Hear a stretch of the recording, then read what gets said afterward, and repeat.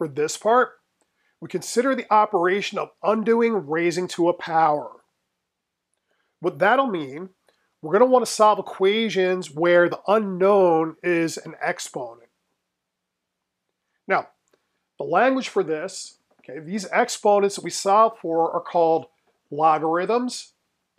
Okay, so that's a long, unfamiliar word, but if you're trying to think of what a logarithm's actually doing, the key word is it's just another way of saying exponent. Now, let's first consider an illustrative example. So let's suppose, okay, at the beginning, or t equals zero, we have $1.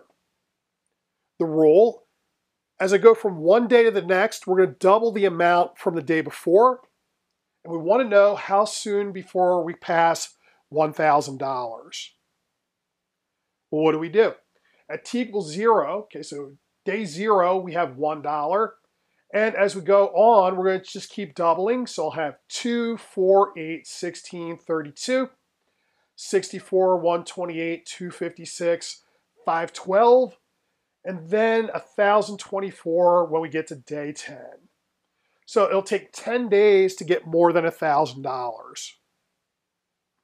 Now note, what if we change this up? Say we were talking about a million or a billion or a trillion. Probably we don't want to go through all this work of a table. Is there a quicker way or more direct way to get to our answer? So first thing we should do is try to rewrite what we're doing as an equation.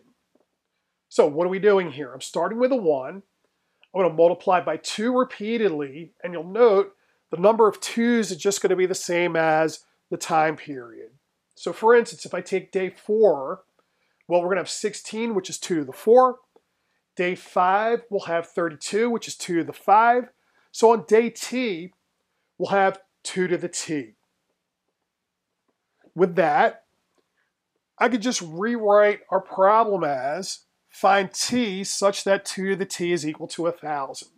Then once we have that, we can round it up if we need to.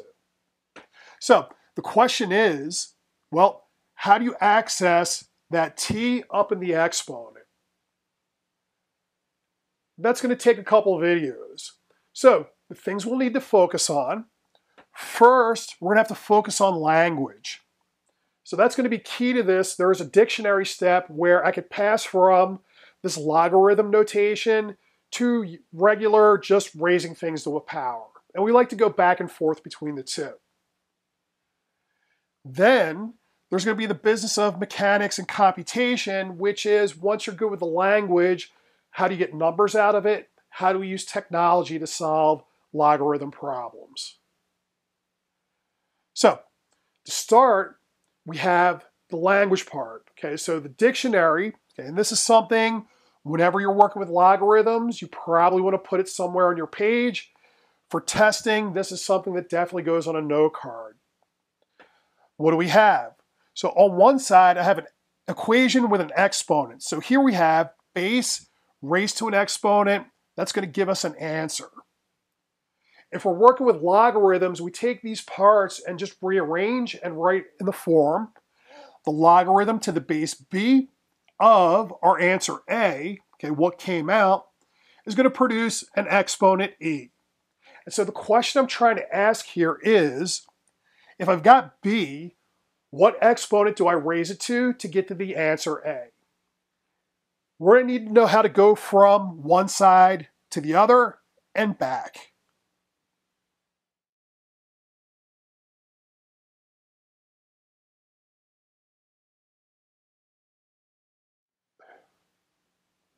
Now, let's do some examples where we get used to the language. So we're not going to try to solve anything just yet, but we just want to be able to go back and forth in the dictionary. So let's start with, okay, we have log to the base 3 of 9 equal to 2. So here, there's no unknowns to solve for. We just want to write the language in either form. What do we do here? We consult. I need my base, my answer, my exponent. So I'll, peel those off. B is 3, A is 9, the exponent's a 2.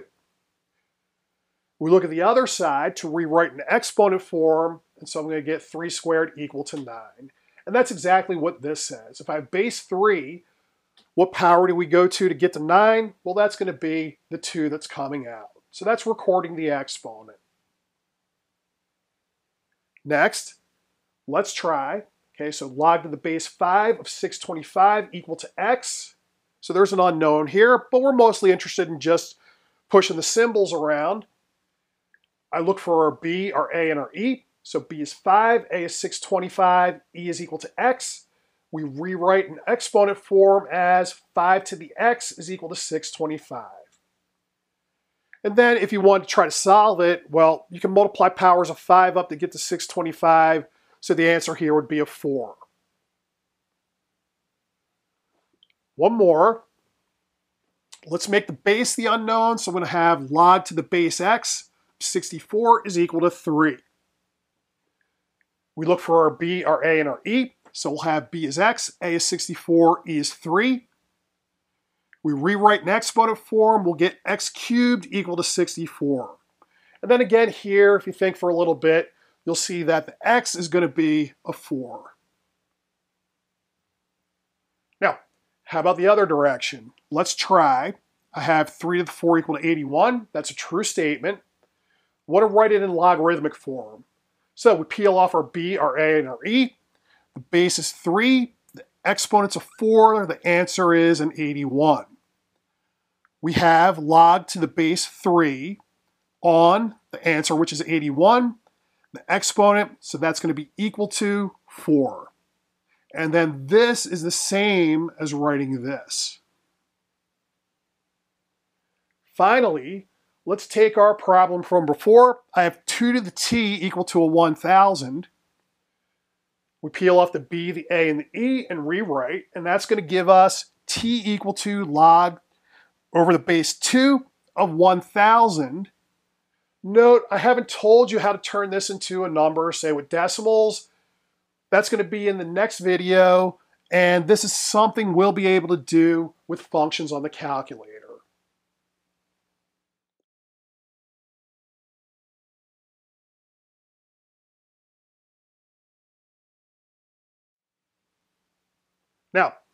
Let's compute some logarithms in simple cases. Here, we're going to be able to identify the exponents when we go to exponent form. For instance, if I have log to the base 5 of 25, okay, what we do, I want to use the dictionary, so we're going to need a variable for the exponent. I'll call that e. We translate, so the base is 5, the answer is 25 we can rewrite as 5 to the e equals 25. And we know the exponent in this case is going to be 2. So the log to the base 5 of 25 equals 2. Note the log here, what's it giving us? It's giving us the exponent. Let's try log to the base 16 of 4. Again, we'll just set this equal to the variable e. We translate, so the base is 16, the answer is 4. In exponent form, we have 16 to the e equal to 4. Okay, well, I know the relation between 16 and 4, we're taking the square root. And we've seen before for square root, we use exponent 1 half. So log of the base 16 of 4 is equal to 1 half. The 1 half is the exponent. One more. If I take, say, log to the base 2 of 1 half, Again, we just set it equal to the variable e. We translate. Okay, so here the base is 2. The answer is a 1 half. We go to exponent form, so I'll have 2 to the e equal to a 1 half. To get a power or an exponent in the picture, note, what do I do with 1 half to match to a 2? I can move the 2 across the bar, and then we pick up a minus 1. Now, this is 2 to the e equal to 2 to the minus 1. Okay, we drop the denominator 1. And matching the exponents, we have e equal to a minus 1 in this case. Okay, and so we see logarithms can be negative because exponents can be negative. Now, we're slowly going to accumulate a list of rules for logarithms. Okay, some that we'll want handy for a lot of things we do. First, if we take logarithm to the base b of b itself, you get a 1. If you use the dictionary, that's just saying if I take b to the 1 power, then that's just equal to b. Okay, that's um, straightforward. And likewise, if we take log to the base b of 1, doesn't matter what b is, 0 always comes out of this. And again, that's just rewriting in exponent form as b to the 0 equals 1.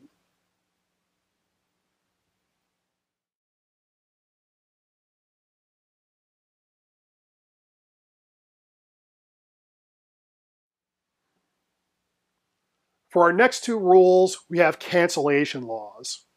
The idea here, raising to a power and taking logarithms to the same base cancel each other out.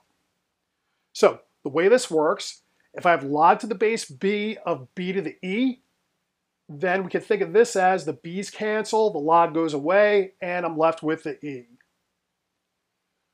In the other direction, if I take b raised to the log of the base b of a, again, the b's cancel, the log goes away. I'm left with the answer on the inside of the log, so we're going to get an a. Now, these may seem non-intuitive, but these are purely language tricks. It's almost not even math. So all we're going to do is take the dictionary and just read it off in two different ways. For instance, what's this? Well, what's the logarithm to the base b of b to the e? I want to find the exponent so that when I put it over b, the answer b to the e comes out. What do you raise b to to get to b to the e? Well, that's just going to be exponent of e. On the other hand, let's take a look at what log to the base b of a is. Well, this is going to be the exponent so that when I put it on top of b, a comes out. Well, what are we doing here? We're taking this exponent, putting it on top of b, a has to come out. And so that's what we wind up with. Note, kind of non-intuitive, so good idea to put on a note card for testing situations. Now, let's see how we use this in practice. So if I have log of the base 5 of 625 from before, what I can do now, rather than set this equal to e and solve, I'll just write 625 as 5 to the fourth power. The 5's cancel, and I'm left with a 4. If we want to check, I take the base, the 5, raise it to the exponent, the 4. 5 to the 4, 625, the answer. And so that checks out. Let's try log the base 5 of the square root of 5. Okay, we could set this equal to e and translate, but now all I need to do is write the square root of 5 as 5 to the 1 half. We have log the base 5 of 5 to the 1 half. The 5's match, the log goes away, and I'm just left with a 1 half. Finally, let's try log the base 2 of 1 half. Now, I don't have 2 to a power in here, but I can get it if we go with negative exponents. So this is log the base 2 of 2 to the minus 1. The 2's match, the log goes away, and I'm left with a minus 1.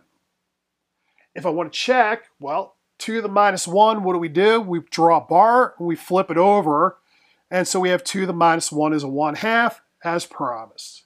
And that checks our work.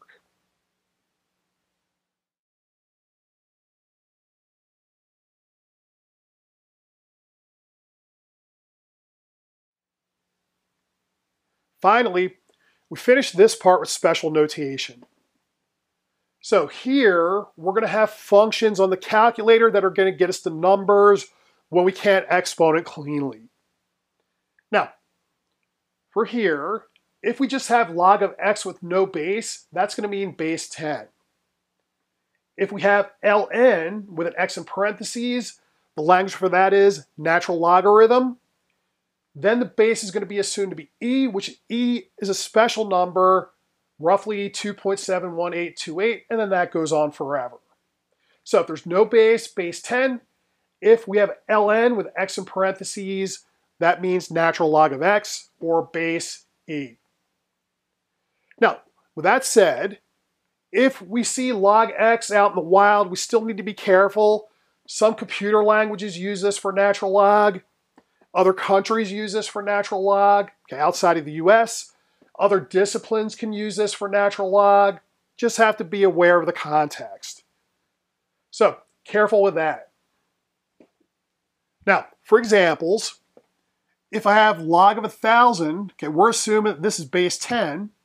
A 1,000 is exponent 3. So we take The tens, they cancel, the log goes away, and I'm left with the exponent of 3.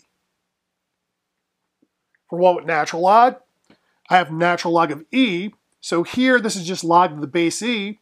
If it's on e itself, we can go in two directions. We had the rule from before, if I have a log of a to a base on a base, it just goes to 1. Or we could think of this as being e to the 1. The e's cancel, the log goes away, and we're left with the 1. And we see that our answers, okay, either method goes to the same place.